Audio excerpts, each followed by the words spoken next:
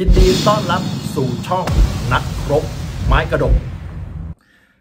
สมชัยชี้ทหารแก่ไม่ยอมตาย รุงรอสวนด้วยข้อบังคับพักนะครับ โยงไปถึงเรื่องของจริยธรรมก็ต้องบอกก่อนนะครับว่าวันนี้นะครับตามที่เราทราบข้อมูลที่ออกมาก็คือว่าทางพักนะครับเพื่อไทยเองนะครับก็มีมตินะครับทางกรรมการบริหารพักนะครับของพักเพื่อไทยเองสสร่วมมีมติที่ไม่เอาพัก พลังประชารัฐเข้าร่วมรัฐบาลคำว่าไม่เอาพักพลังประชารัฐ คือไม่ได้ใช้ว่าไม่เอาทั้งหมดนะครับ เอาเฉพาะซีกของลุงป้อมนะครับ วันนี้นะครับตามที่เราทราบพักพลังประชารัฐจะมีซีกลุงป้อมกับซีกร้อยเอกธรรมนัฐซึ่งแน่นอนครับซีกลุงป้อมไม่เอาแต่จะเอาซีกร้อยเอกธรรมนัฐเนี่ยซึ่งแน่นอนครับมันก็ทำให้พักการเมืองแตก เป็นเสียงหรือเปล่า และนี่คือนะครับสิ่งที่อยากให้ประชาชนมองนะครับ ว่าพักการเมืองหรือนักการเมืองที่ไม่ได้คิดถึงผลประโยชน์ของประเทศชาติ ไม่ได้คิดถึงผลประโยชน์ของประชาชนเป็นหลัก แต่คิดถึงประโยชน์ของตัวเองและพวกพ้องเป็นหลักหรือเปล่า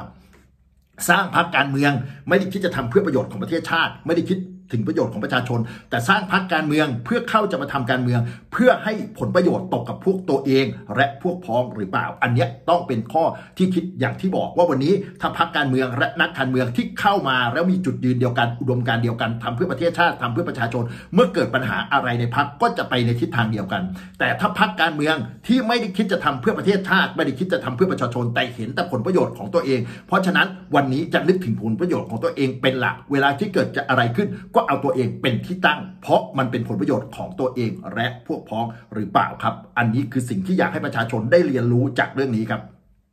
27 สิงหาคม 257 นายสมชัยศรีสุทธิยากร อดีตของกกตเนี่ยโพสต์เฟซบุ๊กปั่นไปไหนสมชัยศรีสุทธิยากรว่า เมื่อทหารแก่ไม่ยอมตาย สุภาษิตที่ว่าทหารแก่ไม่มีวันตาย ดังนั้นเมื่อทหารแก่กำลังจะถูกเอาให้ตาย จึงไม่ยอมตายเดี่ยวคนเดียว พลเอกที่ตั้งพักการเมือง วันนี้ได้รู้ว่านักการเมืองที่มาอยู่ข้างตัว เวลาเราหมดประโยชน์ เขาก็ไปได้ อย่างไม่ใยดี แถมยังสร้างความเจ็บช้ำให้อีก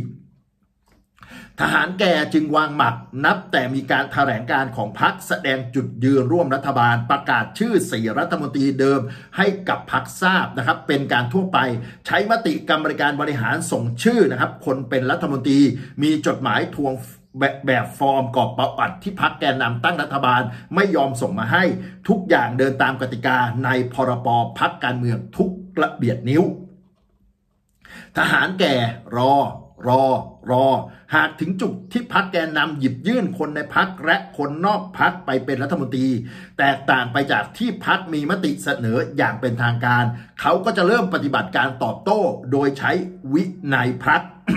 ข้อบังคับพัก โยงไปถึงเรื่องจริยธรรมของผู้ดำรงตำแหน่งทางการเมือง มาหมากนี้เห็นชัดทหารแก่ไม่มีวันตาย แต่หากจะตายขอตายแบบโดนระเบิดปรมาณูไปด้วยกัน แต่ระเบิดจะด้านหรือเปล่ายังไม่รู้ขอเตือนว่าอย่าประมาทเอาไป